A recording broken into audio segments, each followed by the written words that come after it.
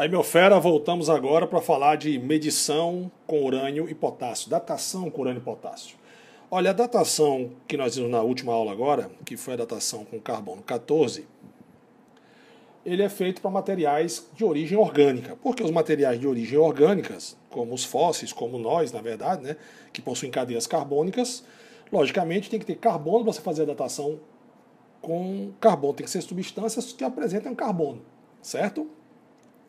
E aí a medição do urânio e potássio ele é usado para medir rochas, o tempo das rochas, o tempo dos meteoritos. Aí você fala, ah, Sandra, para que babone que eu vou querer saber o tempo da rocha? Meu jovem, se eu souber o tempo da rocha, a gente sabe o tempo da Terra, né? A gente tem uma ideia através dos minerais, porque acredita-se, né, que é, desde a da origem da Terra, né, é que os minerais já existiam, né? O urânio já existia na formação do planeta. Então, fica por isso que eles estimam mais ou menos o tempo de, de vida da Terra. É, e outra coisa importante, é, o tempo de meia-vida dos isótopos naturais urânio 238, que eu vou escrever para você aqui agora. A meia-vida do urânio 238 e a, dura, e a do potássio 40 são meia-vidas de muitos anos, bilhões de anos. A meia-vida do urânio 238 é 4,5 vezes 10 elevado a 9 anos. Ou seja, 4,5 bilhões de anos ele vai levar para reduzir a sua massa radiativa à metade. O potássio é 1,3 vezes 10 elevado a 9 anos. 1,3 bilhões de anos ele leva para reduzir sua massa à metade. Sim, Sandra, e como é que eles fazem para saber o tempo da, das rochas e meteoritos? Olha só, a gente vai estudar esse assunto, ele se chama série radiativa, mas eu vou dar uma antecipada para você. O nosso querido urânio 238, ele vai sofrer, ele vai fazer várias emissões de partículas para chegar até o chumbo, aonde ele é estável, aonde ele se torna, onde esse átomo se torna estável. Lógico que esse percurso daqui para cá leva um determinado tempo, certo? Então os caras sabem mais ou menos a meia-vida do urânio, correto comigo? Certo. Ele sabe que quando chega aqui eu tenho uma maior estabilidade. Né? Então é só fazer a relação urânio, chumbo, urânio. É só fazer a relaçãozinha chumbo, urânio. Oxe, como, Sandrão? Olha só. Vou apagar aqui o nosso o nosso carbono 14. Olha só. Suponhamos Suponha com o Sandrão aqui agora que nós temos uma, uma massa, uma quantidade inicial de urânio igual a 100. Certo? Igual a 100. Então, no início eu tenho 100. Quando o urânio chegar a 80, vamos supor, tá? Chegou a 80, seu número de átomos agora é 40. Opa, seu número de átomos radioativos 40. Eu já tenho a primeira meia-vida. Depois, ele vai reduzir sua massa à metade. Metade 40, 20, né não? De novo, meia-vida. E aí, assim por diante. Eu tenho agora de 20 para 10 átomos de urânio radioativos. Eu tinha 80, eu agora só tenho 10. Quanto tempo levou daqui para cá? Ah, Sandrão, é fácil. Daqui para cá levou 3 meia-vidas. Bacana. Certo.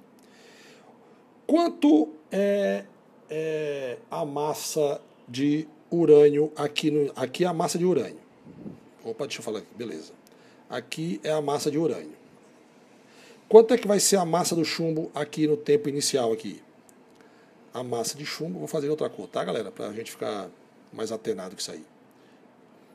é, a massa de chumbo, Sandrão, aqui no início, ela é zero. Mas depois de, da meia-vida do urânio, eu vou ter quanto? 40. Concorda comigo? É, 40. Porque 40, 40 átomos de urânio virou 40 de, de chumbo. Depois passou mais a meia-vida do urânio, aí dos 40 que eu tinha, 20 se transformou em urânio. Então agora eu tenho 60. Certo? Beleza? E agora, de 20 virou 10, de 60, agora eu tenho 70. Olha que bacana. Pronto. Agora é fácil. Vamos fazer a, a razão entre, entre o chumbo e o urânio. Vamos escolher um ponto aqui qualquer no tempo. Escolher esse aqui. Pronto. Se você fizer a razão agora átomos de chumbo em relação ao átomo de urânio, você vai ter 60 átomos de chumbo para 20 átomos de urânio. Isso aqui vai dar quanto? 3. Para ele sair daqui até aqui, ele teve quantas meias-vidas? Duas. Duas meia-vidas. Né? A razão não é 3? A razão 3 indica duas meia-vidas. Certo? E quanto é que é a meia-vida do, do urânio. Tá aqui, ó, meia vida do urânio, Sandrão. Você falou que é 4,5. Então quer dizer, quando eu tiver uma. Quando eu pegar a razão entre o chumbo e o urânio e der 3, por exemplo, eu já sei que esse carinha, essa rocha, esse mineral tem aproximadamente 9 bilhões de anos, porque cada meia vida do urânio corresponde a 4,5 bilhões. Bacana? Vou pausar o vídeo para falar agora um pouco do potássio, tá certo? Olha só, de maneira semelhante, a gente pode também fazer o do potássio. Por que, Sandrão? Porque a medição de fósseis e de rochas pelo potássio, a gente sabe porque o decaimento do potássio 40 é por captura de partículas betas ou emissão de positron e ele forma um argônio de massa 40. Então é o seguinte, eu tenho aqui o potássio de massa 40, o número atômico dele é 39, né? ou melhor, desculpa, 19.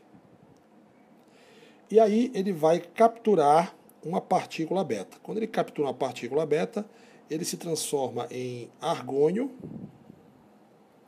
só que com o número atômico 18, né? Já sabe a lei, né? a massa do reagente, a, a, massa do reagente é igual à massa do produto, o número atômico do reagente é igual ao número atômico do produto. Ou ele também pode fazer por é, emissão de positron, que a gente já estudou aqui, né? Massa 40, número atômico 19, ao emitir um positron, que é uma partícula beta positiva, você forma o argônio também. Certo? E aí é, é a mesma coisa. Como é que ele faz, Sandrão? Ele vai pegar uma rocha, vai triturar essa rocha em pedacinhos. Aí esses pedacinhos de rocha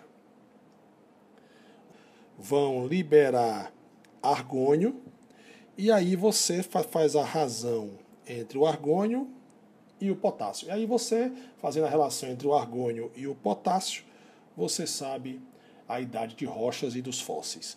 Então, nós estudamos a datação do carbono 14, a do urânio e a do potássio. Urânio 238, potássio 40. Como eu falei, nosso curso é completo e agora nós vamos para os nossos exercícios. Não sai não, fica aqui. Bacana? Um abraço.